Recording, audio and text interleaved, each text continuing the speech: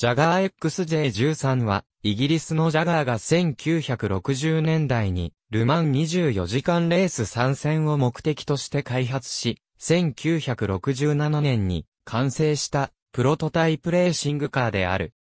ジャガー発のミッドシップ式の V 型12気筒エンジンを搭載したレーシングカーであり、1台だけが製作されたが、実際にレースに参戦することはなかった。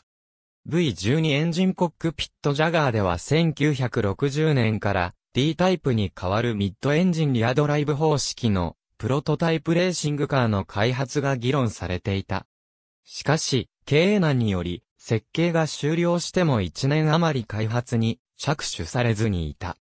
結局開発が始まったのが1965年からで、1966年3月に初めての試作車となる XJ13 が完成した。XJ13 の流麗なアルミ製ボディを開発したのは C タイプ D タイプ E タイプと XJS の開発にも携わったマルコム・セイヤーとマイク・キンバリーで E タイプなどとのデザイン近似性がある。テールライトは E タイプシリーズ1からの流用。エンジンは新開発の V 型12気筒5.0ルド HC エンジンがミッドシップレイアウトで搭載された。ジャガーは1955年頃からレース用の V 型12気筒エンジンとそれのロードゴーイングバージョンの開発を考えており、1964年に開発されたこのエンジンは基本的に6気筒の XK エンジン2つを共通のクランクシャフトでつなぎ合わせ、バルブの角度や吸気ポートなどいくつかのパーツが異なる設計のものだった。最高出力は 502HP で、当時活躍していた同クラスのフォードマーク4やフェラーリ 330P4 と互角に渡り合える能力を秘めていたはずだった。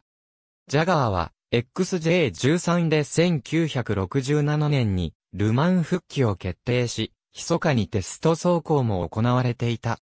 しかし、ルマン参戦を控えていた1967年初めに、突然この計画は中止となった。これは当時ブリティッシュモーターコーポレーションとの合併騒動で、レーシング活動そのものが停止されてしまったためであった。さらに、当時時価6エンジンを搭載した E タイプの販売が極めて好調であったことから、当時の代表であったウィリアム・ライオンズは V 型12気筒エンジンの存在が外部に漏れることを恐れ、XJ13 のサーキット走行を禁止してしまった。それでも XJ13 の開発継続を望む、当時の車両実験部チーフのビル・ヘインズは、ライオンズに何度も走行実験の実施を進言したものの拒否され続けていた。そして、ヘインズは、当時の部下で、チーフテストドライバーだったノーマン・デビスと共に、1967年のある日に許可なく、XJ13 のテスト走行を、ミラ、テストセンターの高速周回路で行った。その時の XJ13 は、最高速度175 mile per hour を記録し、さらにこのコースのラップレコードまで打ち立てるという予想外の好成績を記録した。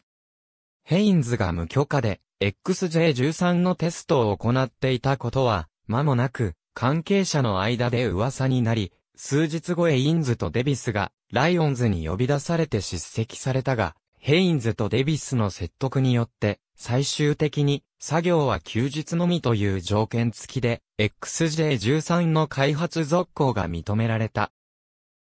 しかし、それでも XJ13 の開発のためには時間と資金が足りず、さらに XJ13 のシャーシに問題があることが発覚してまたも開発は頓挫する。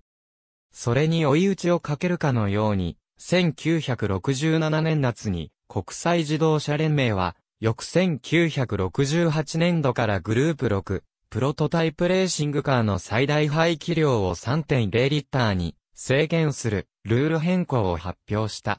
これによって、XJ13 はグループ6として、レースに参戦することが不可能となった。こうして、XJ13 は完全にレースでの活躍の場を失い、開発中止を申し渡された。その後1971年、翌年からジャガー E タイプシリーズ35.3リットルに V 型12気筒エンジンが搭載されることが決定した。この V 型12気筒エンジンは XJ13 用に開発された元のエンジンを行動用にでチューにして DOHC から SAHC に仕様変更したものであった。そこで、ジャガー首脳陣は倉庫に保管されていた XJ13 を販売促進用のプロモーションに利用することを思いついた。1972年1月20日、プロモーションビデオ撮影のために XJ13 はデビスが運転して、ミラノサーキットを再び走行することとなった。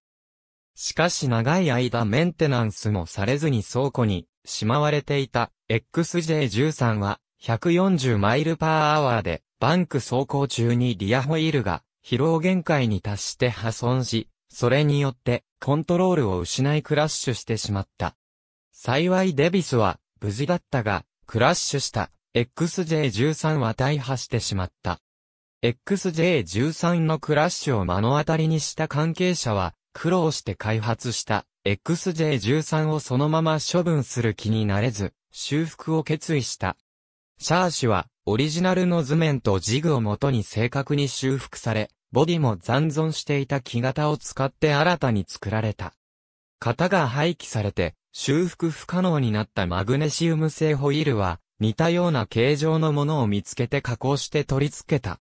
そして2年後、XJ13 は、ほとんど完全な形で修復された。修復された XJ13 は現在、コベントリーのジャガー本社工場内にある資料館、ジャガーダイムラーヘリテージトラストに保管されている。レースでの活躍は結局叶わなかったが、流麗なデザインとその悲劇的な開発経緯から人気は高く、今でも各地のイベントでその姿を見ることができる。ありがとうございます。